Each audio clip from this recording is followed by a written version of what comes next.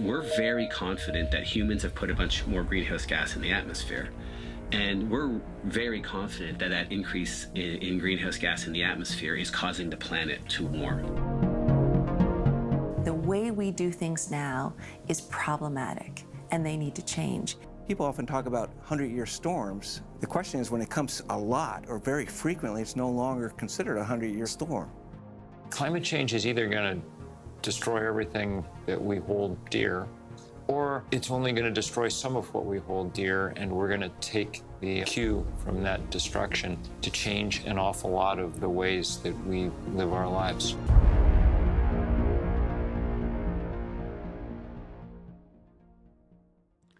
As I said in the first program, at a time when we read in the news that Earth's surface temperatures have reached a record high in 2016, and we have a new presidential administration that denies the impact that fossil fuels play in climate change, and in fact is intent on rolling back progress made at the national and international level to reduce greenhouse gas emissions. It seems even more important that we talk about strategies to combat climate change at the local and regional level. My name is Doug Challenger. In this second conversation being filmed here at Amherst Media, we'll reflect further on the themes presented in the documentary film From Hurricane to Climate Change that I directed and helped produce with colleagues of mine at Franklin Pierce University in Rindge, New Hampshire where I'm a professor of sociology and a member of the Monadnock Institute of Nature, Place, and Culture, which is the academic institute that produced the film. While the film was focused on local communities uh, in southwestern New Hampshire, its themes seem applicable to the wider region. In fact, in the film are scenes of river flooding in Vermont as a result of Hurricane Irene in 2011, and scenes of uh, replacing culverts along roads where I live in Pelham, and images of farmers markets in Brattleboro and here in Amherst. To help us connect the film to Amherst and the surrounding community uh, or region, I have invited for this conversation two more guests to help us talk about ways in which towns and communities in this region are responding to climate change and its impacts. Our guests today are Christine Hatch, who is an Extension Assistant Professor of Hydrogeology at UMass at Amherst. Christine is the author of a recently published booklet entitled Supporting Communities to Become River Smart. It's the most complete analysis to date of the dynamics of stream flooding that has repeatedly devastated New England towns. Her report offers several suggestions about how towns and cities can strive to become resilient to future river floods. Welcome, Christine. Thank you so much for having me, Doug. It's a pleasure to be part of your wonderful documentary. Thank you. Alex Kent, our other guest today, works as a self-employed Japanese English translator, but describes his second job these days as being the leader of an effort to bring to Amherst a new worker and consumer-owned food co-op. And Alex is serving as the president of the board of directors. Welcome, Alex. Thanks for having me today. I'm glad to be here. You both may remember that the film opens with the statement, climate change is an invitation to a new life.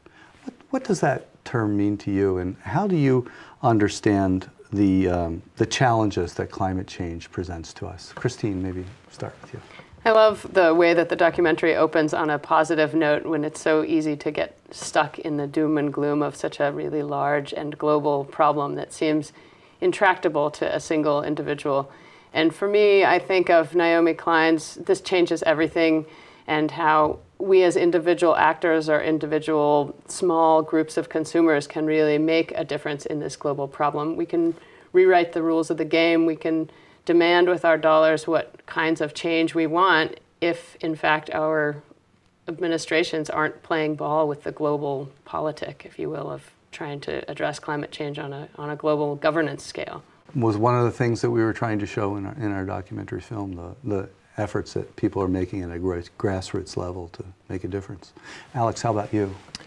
Well, I joined the project to bring a full-service worker and community-owned grocery store to Amherst some years ago and was not thinking in terms of climate change. But over the years and through the outreach work we've done to the community and as the problem of climate change has come more and more to the forefront, it's clear to me that there is a connection between community action, people coming together to create a community and worker owned business that will supply food to this community, that it has a direct relationship to how we address the problem of climate change. And we do that by reducing the distance that our food has to travel to get to us, by doing what we can to reduce the travel that we have to do to get to where our food is being sold. And, and in another, in a larger sense, it's a way for the community to come together to take action, not just to improve their, their food supply and support local producers, but also to talk about ways they can act as a community to respond to the changes in our political climate. In, in our film, we, which was actually three years in the making, when we started out, we were talking to climatologists. Um, what they were saying that in terms of climate change is that it touches down in this region of, of the world in southwestern New Hampshire and in New England more generally by uh, increases in extreme precipitation events and the you know the uh, the devastation that storm water and ice and snow from nor'easters in the winter could cause in towns like Peterborough and Keene that are located along rivers. But during the last year as we were finishing the film up, we were living in a, in a drought situation here in, in this region. And I'm just wondering, we didn't really touch upon it very much in the film, but Christine, as a, as a scientist, could you explain how it is that climate change can produce both flooding and drought at the same time? Sure. It's always one of those conundrums that's difficult to, to explain to the public. And you think about a weather event, and that's a single event in time, or weather over a particular year, how much snowfall we get. And climate and climate change are really trends over decades, multiple decades. And so these really longer term phenomenon. And that's one thing that's um, important to keep in mind as we're watching these long term trends. But in terms of drought and, and heavier ev- uh, rainfall events happening at the same time, these, these are both indicators of, uh, that we see out of climate change. And what happens is you get, for an increase in temperature, an air mass can hold more water. So the, the, the warmer the air is, the more water it can hold. So even if you had exactly the same number of rainfall events at exactly the same intensity as they might otherwise have been, when you add that increase in temperature, every single one of those events becomes more intense, even if it's the same number. So suddenly it registers on our radar as, an, as a more extreme event. And with that, you get more rain per minute or more rain per hour. And so those can be um, much more dramatic in terms of river flooding because the water can rise much more quickly and, and cause more damage. They have more power. Um, and then the drought side of things, again, with a rise in temperature, instead of seeing New England has the benefit of having fairly even precipitation across the entire year. So you get some rain every single month throughout the year, and that's sort of even, and that's really fantastic for agriculture here.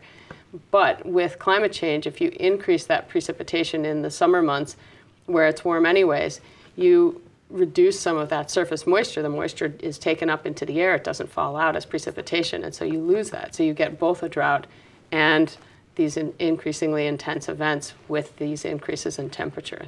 I'm just wondering, uh, as someone who's, who studies rivers and streams a lot, and, and clearly they have been critical to life in, in New England towns and communities. And I'm just wondering what you and other scientists are learning about rivers and streams in light of, especially in light of the environmental changes brought about by climate change. And, and how, how do you think we should be preparing to meet the challenges these changes present to us?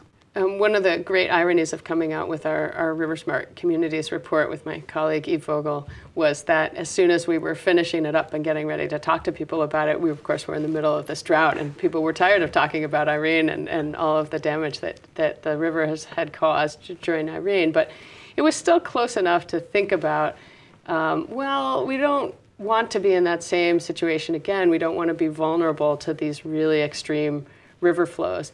And so we really started to try to think about educating people on how rivers work. Rivers move. They don't stay in place. They don't stay in one place. They can migrate back and forth. And if if we actually step back just a little bit and give that river more room to do what it's going to do anyway, particularly with stronger flows that we expect to come with climate change, that we can save ourselves a lot of money and heartache and, and not disrupt our transportation systems and not disrupt our food delivery systems and not disrupt our infrastructure and, and spend an awful lot of money doing that and re- replacing roads and crossings and so forth. Um, but instead, be a little bit more forward thinking about it and, and be willing to step back and give that river a little bit more room. And at the same time, by allowing that river to be connected to its floodplain, which is probably where the roads are anyhow, um, it, a little bit more, give it a little bit more space, it actually slows down those extreme flows and makes them less damaging and just has that flood wave have a slower, longer time to seep into the ground and move its way down the hill slope.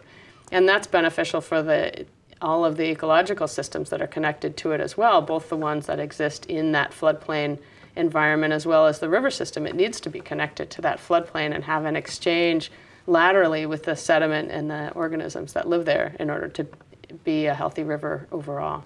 Are there uh, changes in infrastructure that that that kind of approach would uh, require, or uh, I mean, making that more the, the approach, what, what does that re require us to do? One of the recommendations that we put forth in the report is to support road stream uh, to um, replace road stream crossings and culverts that are undersized. And so what happens again if you have these larger flows, when you get to an undersized structure, it's very easy to overtop it and, and destroy it completely. But if you have a large enough open structure, often that's open at the bottom as well, you can actually pass a lot of flow, you can pass a lot of storm debris, you can pass big logs, you can pass all sorts of things underneath that without damaging the structure. And so in the long term, it's a much better investment to have uh, a properly sized structure and there's um, many groups that are working on stream continuity to have continuity of habitat and that being the motivation. But it's really a win-win on both sides for the ecology and for human infrastructure and our resilience to these kinds of storms.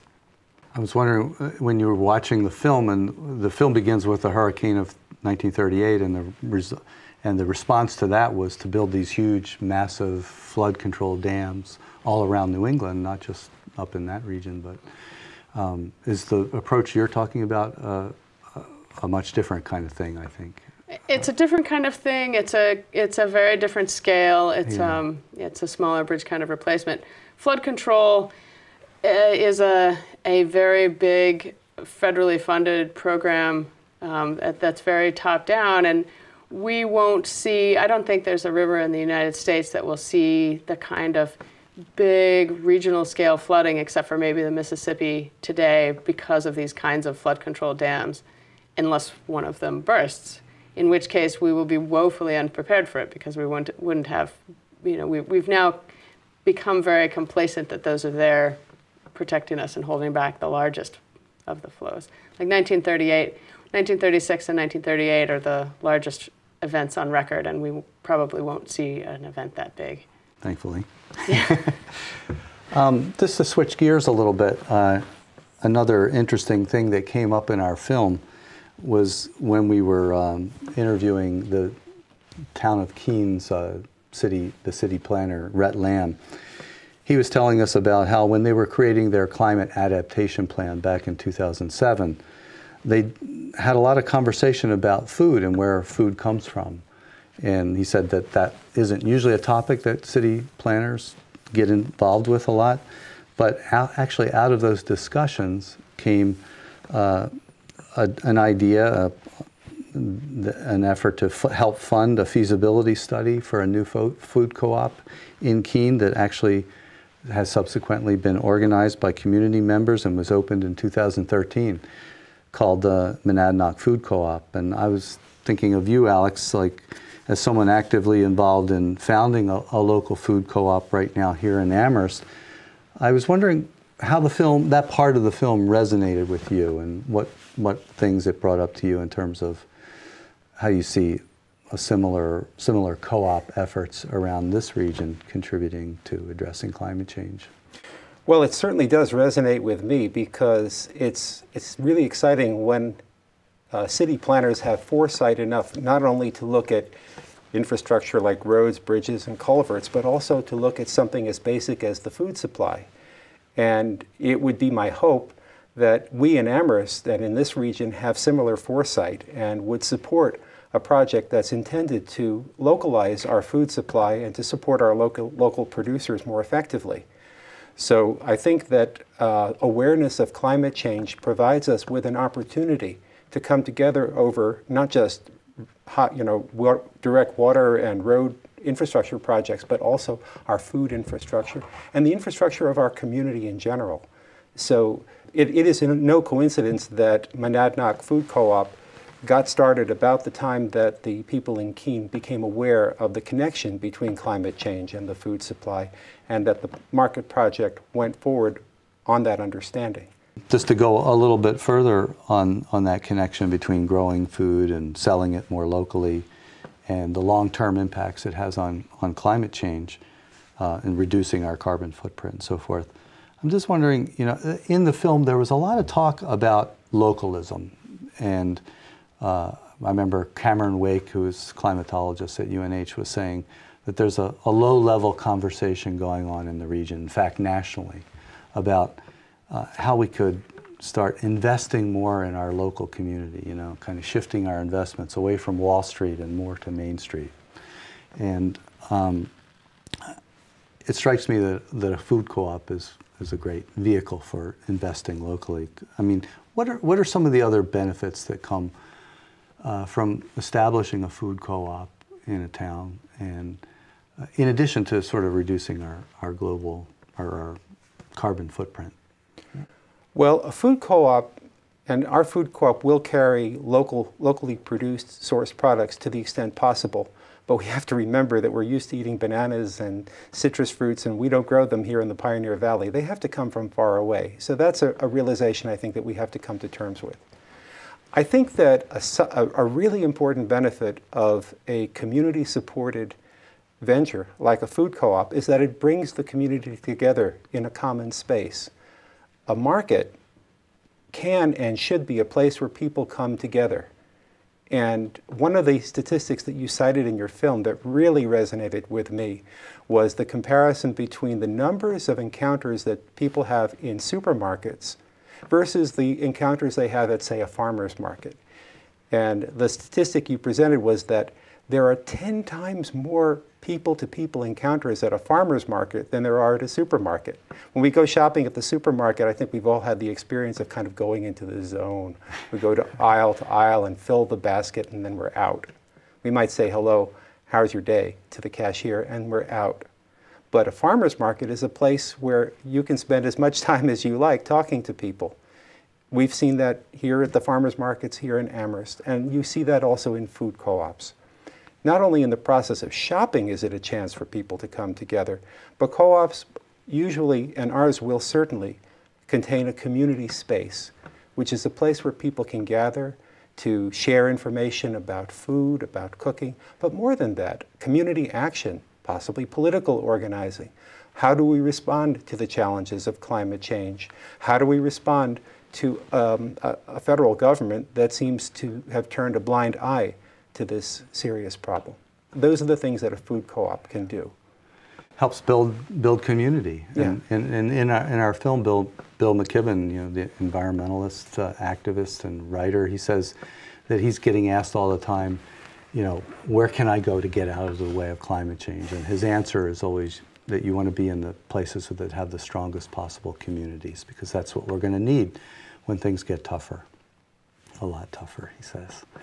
And uh, I mean, I'm wondering in the, in the few minutes that we have, just briefly, if you could talk a little bit about what Bill McKibben says there and like, you know, what does it mean to you when he says that. How, that we that we should see that we should see um, the challenges that climate change uh, presents to us in in this way. That um, community, strong communities, is what we need to be focusing on. I guess I think of a couple of things um, based on our river research when, when Bill McKibben says that he wants to get to a place with strong community. And one of those uh, things is that, you, know, we think about these really big events like an Irene Hurricane Irene event, and it's you know it has a, a frequency of or a return interval that's very very long, and so we can easily forget it.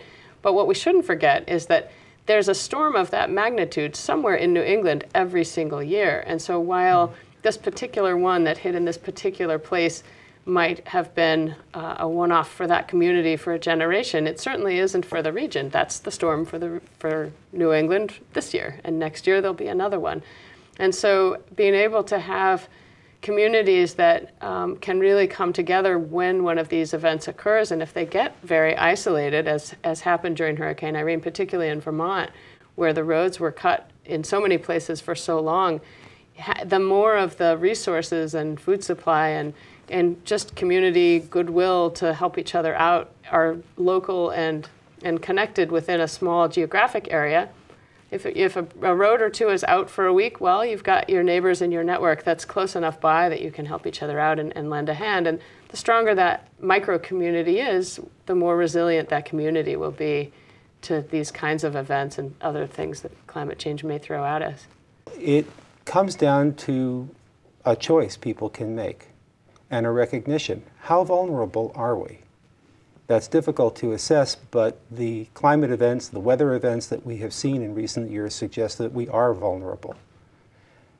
We can choose to accept that and depend on systems that are controlled from far away, or we can opt to become, to move in the path toward greater resilience. And I think that uh, cooperative ventures, whether they're food or other services that are vital to the community, are really important ways to build that kind of resilience. Neighbors coming together with neighbors, as Christine says, to help each other in times of trouble, but also to take steps to avert those kinds of troubles. That kind of awareness is fundamentally political. It's not political in the sense that most people think of it, but it's coming together as a polity, as a group of people living together in a local place, which is where we all live. we all live locally we have to we have to look at our locality and see what we can do together to make it a, a better and safer place to live. And, and, and I think that coming together for a common cause like like uh, a grocery store, a co-op grocery store, is a good example of that. It's been a pleasure talking to both of you this morning, and you know, thank you for sharing your experience and expertise and participating in this discussion of the film uh, from hurricane to climate change and commenting on how citizens and scientists in Western Massachusetts are addressing some of the important themes that it brings up. Thank you. Thank you. Thanks, Doug.